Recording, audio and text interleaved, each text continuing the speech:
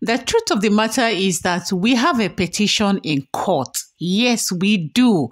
And that is why we must not lose hope.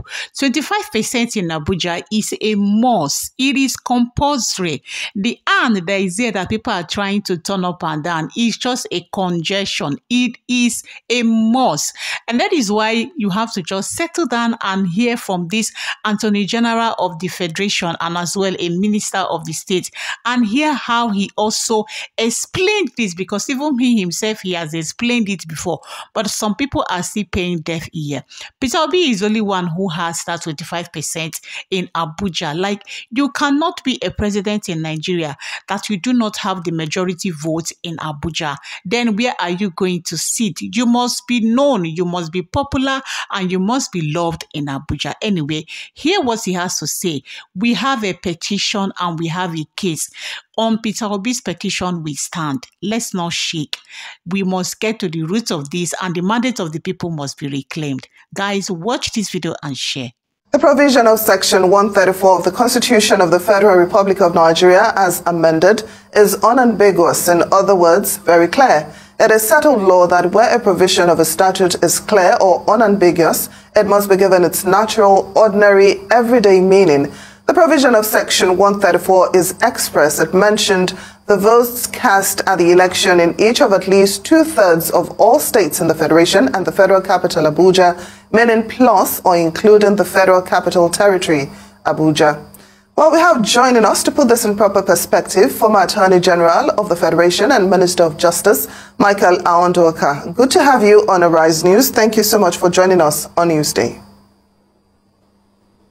Thank you very much now, there's for been... giving me the opportunity to be here again.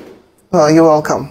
Now, there's been some controversy over the interpretation of Section 134 of the 1999 Constitution. Some legal scholars believe not having at least two-thirds of all states in the Federation and the Federal Capital Territory, Abuja, nullifies the presidential election results declared by INEC and will form the thrust, you know, of what happens at the Election Petition Tribunal. What's your thoughts on that?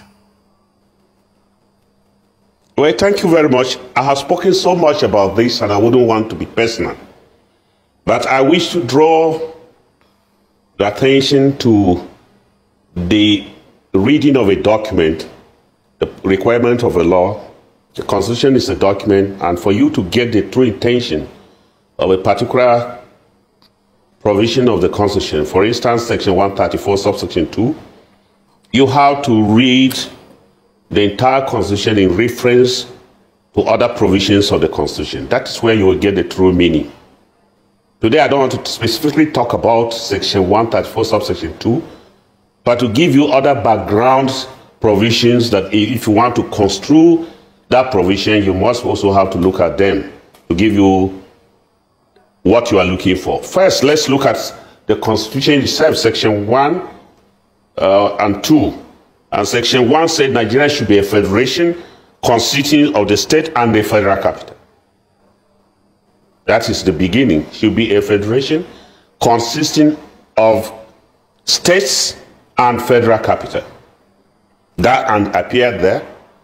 If you go back to the sections, section 3 of the Constitution, it went ahead to list the 36 states of the federation by name. From there up to section 6 of the Constitution, you will discover that what is local government is specified, what is area council is specified, the area of the states are defined in the schedule, the area of the federal capital territory is defined in the schedule. So you will know that there's no mix up of what is federal capital or what is state because they are specifically mentioned and the rules of interpretation is that what is specifically mentioned in the constitution or in a document what is not mentioned is excluded. So if you look at it the states are well defined their territorial area well defined even their capitals are well defined. If you come to the issue of the federal local governments contained in all the states well defined and then the constitution not pretend in federal capital to say they have a local government, say they have six area council, specifically defined in the second schedule of what is the federal capital. Then, if you go back to section 133B of the Constitution, which deals with presidential election, which comes before section 134, you will see that a person who is a single candidate at the election is still stipulated to win 25% in two thirds of all the states and federal capital. And it goes to say that if somebody is not elected in accordance with the constitution, fresh nomination should be. That one has gone further, not talk of fresh election. Say fresh nomination should be taken. That is how serious it is. If you marry that provisions, you'll be able to arrive at the true intention of section 134 subsection 2. You must look at section 133. Certain because the person is just a single candidate. Yet the stipulations he must get to third of yes or no in the 32 uh, two thirds of the 36 states of the federation and federal capital. And if he is not elected, in, in there's no winner in, in, in, accordance with the provisions of Section 133, fresh nomination, not election, fresh nomination should be conducted. That is the case of a single candidate. So when you come to 130, uh, for which deals with uh, uh, multiple candidates, two or more candidates, the procedure is almost the same. The and came again. Where it's being argued, maybe rightly or wrongly, that section 299 makes the federal capital state. I am afraid where or something is specifically mentioned, where defined, I don't have, I don't think importation of that kind of interpretation may be appropriate. But that is still left to be resolved by the code. But assuming you now look at that, 299, and equate it, you will see the special nature of the federal character because there is also specified that the president should act as if he's a governor. And therefore, one may be tempted as uh, the federal capital is created, given a special nature. And uh, if you look at it literally, if he's deemed to be a governor, Section 176 of Section 2 of the requirements of winning two thirds will matter, must have applied. But here the Constitution stipulated it should only be 25%. I thought that is the more uh, proper constitution to uh, consideration because if you are saying it's a state, then the issue of requirement of winning to uh, the federal capital by two thirds as specified in the governorship election will arise. But I don't think that's what is the import of the constitution.